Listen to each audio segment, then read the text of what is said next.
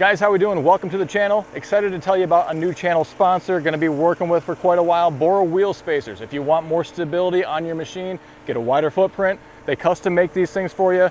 A tractor, a UTV, ATV, could even be your truck. Check out Bora, link down below. Springtime in Michigan, we have some more cleanup work to do. Gonna use the Sweepall sweeper here. Again, a commercial grade sweeper. We use it in the fall for leaf cleanup. That's just touching the tip of the iceberg. Today we're gonna do some parking lot cleanup here at the shop where those snow piles melted down and kind of all the leftovers, everything that got pushed there, scraped along with the snow all winter long. You have a lot of rock, little bits of trash, pieces of wood, who knows, all sorts of stuff. We're gonna pick that up. After that, we're gonna head on over to my house. We just got done last week, two or three days ago, uh, core plugging the yard. Gave it a couple days to dry out, so now we're gonna go back through, use this same Sweepall here. It's a Sweepall aerator as well. Gonna use this to pick up all those core plugs and see how it does. Hey, if you haven't watched the sweep Sweepall overview, did one of those last fall, we'll put a link somewhere in the video so you can check that out. We're gonna get right to the action today. If you like what you see here, I'd love to get a thumbs up from you. Make sure you hit that subscribe button right down below. And if you want more information on the sweep Sweepall or another cool tractor product, then read through the description right down underneath the video or head on over to goodworkstractors.com. Here we go.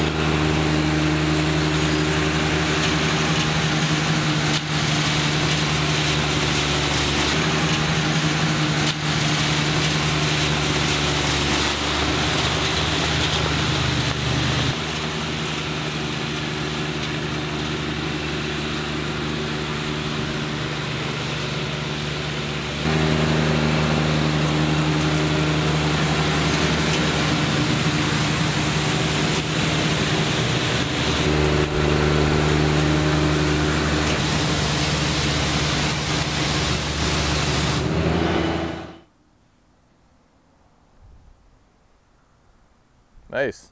You see down in here? You get close up? I mean, it's got it cleared all the way out. Even the weeds. Did a good job.